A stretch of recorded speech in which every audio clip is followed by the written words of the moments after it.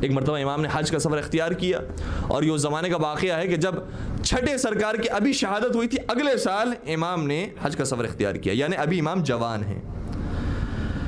اور یہ جو بات دخل کرنے والا شخص ہے، یہ بھی اہل سنت ہے اہل سنت ایک عارف شقیق بلخی اس کا نام ہے۔ کہتا ہے کہ جب میں حج کے سفر پر جا رہا تھا تو میں نے ایک شخص کو دیکھا، نورانی جوان ہے، لیکن صوفیانہ لباس پہنا ہوا تھا۔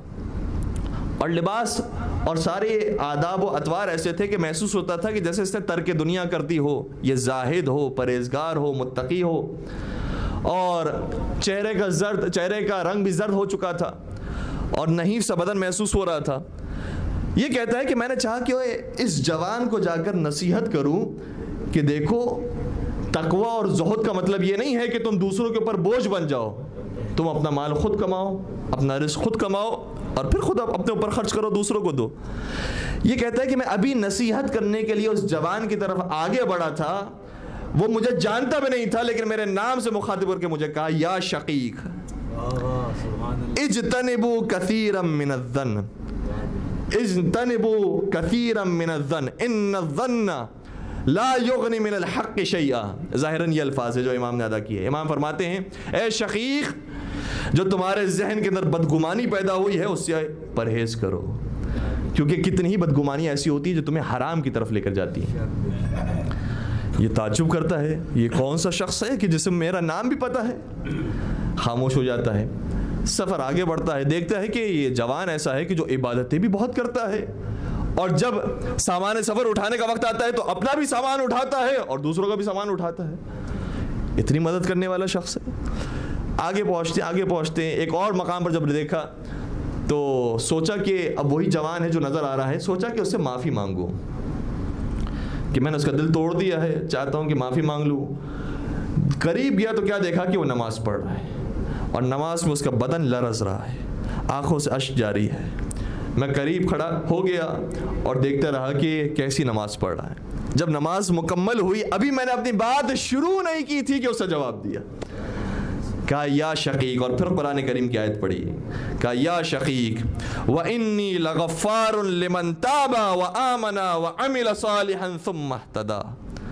کہ قرآن کریم میں کیا تم نے یہ آیت نہیں پڑھی ہے کہ خدا عشاء فرماتا ہے کہ جو معافی مانگنے کے لیے آتا ہے، ہم اسے معاف کر دیتے ہیں۔ پھر وہ ایمان حاصل کرے، وہ عمل صالح کرے اور پھر ہدایت یافتہ ہو جائے۔ یہ سمجھ جاتا ہے اور دل میں کہتا ہے کہ یہ تو کوئی بہت ہی بڑا عارف محسوس ہوتا ہے۔ اور لفظ استعمال ہوا ہے، یہ کوئی ابدال محسوس ہوتا ہے۔ اب یہاں پر اس مجمع کے اندر بہت سارے افراد ہوں گے جو ابدال کے لفظ سے واقف ہوں گے، لیکن اب تک بچوں کے لیے عرض کروں۔ ابدال اس لفظ کو کہا جاتا ہے، اس شخص کو کہا جاتا ہے کہ اگر وہ نہ ہو تو زمین برباد ہو جائے۔ یہ حدیث کے جملے ہیں۔ اگر ابدال اس دنیا میں موجود نہ ہوتے تو زمین ختم ہو جاتی۔ کہ یہ تو مجھے ابدال میں سے معلوم ہوتا ہے۔ پھر سفر کا آغاز کیا، آگے چلتا رہا۔ اب تیسرے مقام پر جو رکا تو کیا دیکھا کہ وہ شخص وہ ہے کہ جسے پانی کی ضرورت تھی۔ اس سے اپنا مشکیزہ اور چھوٹا سا مشکیزہ تھا، کنویں میں ڈالا۔ اور جیسی کنویں میں ڈالا، رسی ٹوٹی اور مشکیزہ اس کو نیچے گر گیا۔ اب یہ دیکھ رہا تھا کہ یہ شخص کرتا کیا ہے اس کے بعد؟ کیا دیکھا کہ اسے اپنے ہاتھوں کو آسمان کی طرف بلند کیا اور کہنے لگا، ربی، اذا ذمعت الماء، جب میں پیاسا ہوتا ہوں تو تو مجھے پانی پلاتا ہے۔ وقوتی اذا اردت، اور جب میں بھوکا ہوتا ہوں تو تو مجھے کھانا کھلاتا ہے۔ ابھی اس کے جملے مکمل نہیں ہوئی تھے، میں نے کیا دیکھا کہ جیسے موسا کلیم اللہ کے لیے پانی میں سے راستہ بنا تھا، اس موسا کے لیے پانی کا کنویں کا پانی بلند ہونا شروع ہوا۔ اور اتنا بلند ہوا کہ مشکیزہ اس کے ہاتھوں میں آ گیا۔ اور مشکیزہ اس نے ہاتھوں میں لیا، وضو کیا۔ وضو کرنے کے بعد چار رکت نماز پڑھی اور چار رکت نماز پڑھنے کے بعد آگے بڑھ گیا۔ میں اس کے پیچھے پیچھے چلتا رہا۔ یہاں تک کہ جب میں مسجد الحرام میں داخل ہوا تو میں نے کیا دیکھا کہ یہ شخص میزاب کے نیچے نماز پڑھ رہا ہے۔ میزاب کسے کہا جاتا ہے جو خانہ کعبہ کا پرنالہ ہے، جہاں سے پانی بہتا ہے۔ امام وہاں پر رات کی تاریکی میں نماز پڑھ رہے ہیں۔ یہ بیٹھ جاتا ہے، سنتا رہتا ہے، امام کس طریقے سے نماز پڑھتے ہیں۔ کہتا ہے کہ پوری رات امام نماز پڑھتے رہے، سفر کی تھکن ہے۔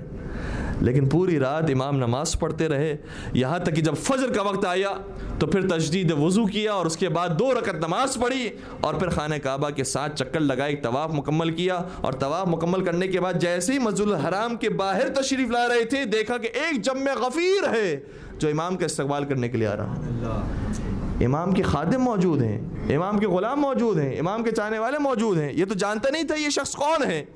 ایک مرتبہ کسی سوال کیا، من ہاد الفتح؟ یہ مرد مومن کون ہے؟ جواب دیا ہادا موسى بن جعفر ابن محمد ابن علی ابن الحسین ابن علی ابن ابی طالب.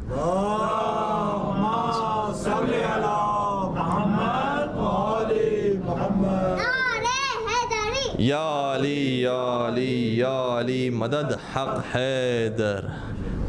تو یہ تعجب کرتا ہے کہ وہ شخص کی جس کی نمازیں ایسی ہیں کہ جس میں روتا ہو، وہ جس جو پوری پوری رات نمازیں پڑھنے والا ہو، وہ شخص جو سفر کی تھکن ہونے کے باوجود عبادت خدا میں کوئی کوتاہی کرنے والا نہ ہو۔ میں دیکھتا ہوں کہ اس کے نوکر اتنے ہیں، اس کے خادم اتنے ہیں، اس کے غلام اتنے ہیں۔ یہ کون شخص ہے؟ اس واقعے سے پتہ چلا کہ اس کا مطلب امام کے خادم تھے۔ امام کے غلام تھے۔ امام کے پاس چاہنے والے افراد موجود تھے، لیکن کبھی بھی اپنا سامان اٹھانے کے لیے کبھی اپنے غلام کو نہیں کہتے تھے۔ کبھی کسی کام کا کہنے کے لیے اپنے غلام کو حکم نہیں دیتے تھے، خود کام انجام دیا کرتے تھے۔ یہ دنیا کے رئیسوں میں، دنیا کے امیروں میں اور امیر کائنات کے فرزند میں فرق ہے۔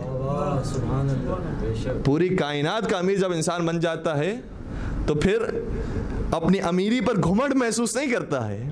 اپنی امیری پر تکبر و غرور محسوس نہیں کرتا ہے وہ جملہ بڑا معروف ہے کہ اگر کوئی شخص غرور کے اندر مبتلا ہو جائے، تکبر کے اندر مبتلا ہو جائے، تو فوراً لوگ سمجھ جاتے ہیں کہ نیا امیر بنا ہے، یہ نیا دولت مند بنا ہے۔ لیکن جو پرانے رئیس ہوتے ہیں، ان کا انداز اور ہوتا ہے۔